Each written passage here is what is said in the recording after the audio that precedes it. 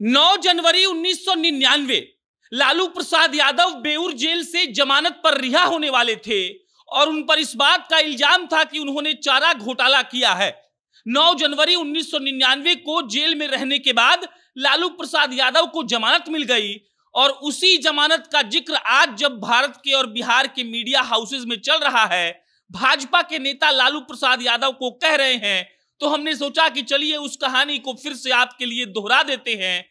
और आपको याद दिला देते हैं 9 जनवरी 1999 की वो कहानी, जब बेऊर जेल से निकलने के बाद लालू प्रसाद यादव हाथी पर बैठकर अपने आवास तक आए थे और उस वक्त एक हज़ार, दो हज़ार नहीं, हज़ारों हज़ार लोग लालू प्रसाद यादव को बेऊर जेल से रिसीव करने के लिए गए थे और वो आदमी, जिस आदमी पर इस बात का आरोप था कि उसने चारा घोटाला किया है, गरीबों के पैसे को खाया है, वो आदमी जब जेल से बाहर निकला तो हाथी पर बैठ कर निकला।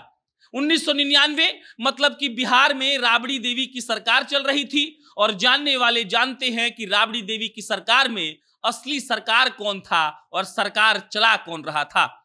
लालू प्रसाद यादव पटना ही नहीं, पूरे बिहार के प्रशासन को अपने उंगलियों पर नचाते थे और सोचिए 9 जनवरी 1999 को बेऊर जेल के एग्जिट गेट के पास क्या स्थिति रही होगी, जब एक तरीके से बिहार का मुख्यमंत्री जेल से बाहर निकल रहा था और लालू प्रसाद यादव की करामात ऐसी है कि देखिए तमाम आरोपों के बाद भी जमानत पर जब वो रिहा होने वाले थे, तब हाथी पर बैठकर उन्होंने वहाँ से लौटना चुना।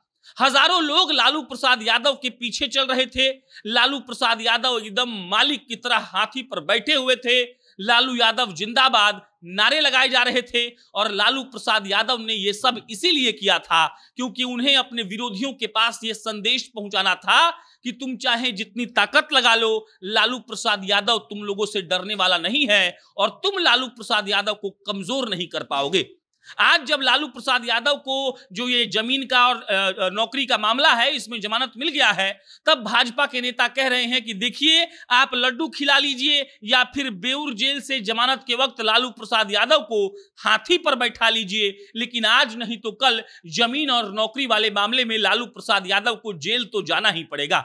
लालू प्रसाद यादव का वो हाथी वाला मामला हमें याद आया और फिर याद आता है 9 जनवरी 1999 लालू प्रसाद यादव अपने हज़ारों समर्थकों के साथ बेऊर जेल से हाथी पर बैठकर निकलते हैं और खूब शोर शराबा होता है। डर इसीलिए नहीं था क्योंकि सरकार राबड़ी देवी की थी। मालिक लालू प्रसाद यादव थे और डर किसी का भी नहीं था। लालू यादव ये खुल्लम खुल्ला संदेश दे रहे थे कि आप हम पर आरोप लगा लीजिए, लेकिन हम भी शहनशाह हैं, अपने हिसाब की राजनीति करते रहेंगे और कोई माई का लाल पैदा नहीं हुआ है जो लालू को रोक ले।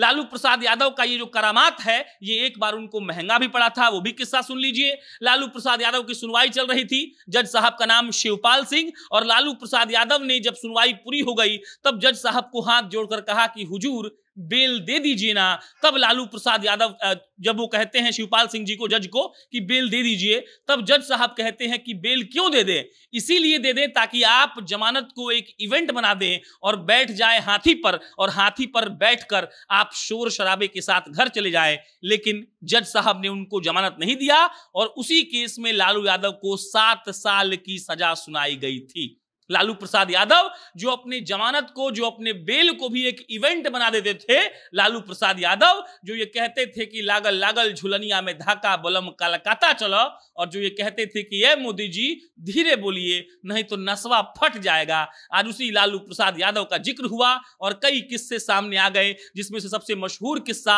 नौ जनवरी 1999 का, जब लालू यादव को जमानत मिली, और जब वो बेऊर जेल से बाहर निकले, तब हज़ारों लोग थे लालू प्रसाद यादव खुद हाथी पर बैठे हुए थे। महावत उस हाथी को चला रहा था और लालू यादव ये संदेश दे रहे थे कि देखो, तुम लालू को कैद तो कर सकते हो, लेकिन लालू के विचारों को नहीं। और आज भाजपाई यही कह रहे हैं कि आप हाथी पर बैठ लीजिए चाहे आप विधानसभा में लड्डू बांट लीजिए, जेल तो आपको जाना पड़ेगा।